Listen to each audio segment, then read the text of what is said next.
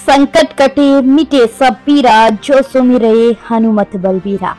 सिद्धपीठ संकट मोचन हनुमान, श्री बालाजी और शनि शक्ति पीठ, शनि धाम मंदिर। वेस्टर्न रोड पर महामंडलेश्वर। महेंद्र दास जी महाराज, निर्मोही अखाड़ा के सानिध्य में रामनवमी पर्व से चला रहे हनुमान बालाजी जन्मोत्सव आज धूमधाम के साथ स्थापन किया गया।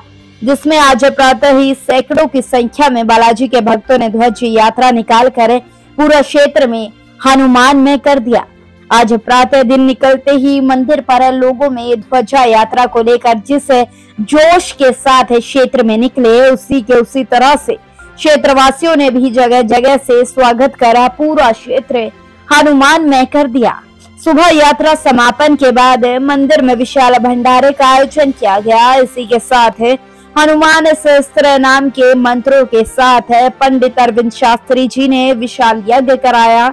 शाम को आरती के पश्चात संध्या का आयोजन किया, जिसमें हनुमान जी के भजनों पर लोग झूमते रहे, देर रात तक झूमते रहे।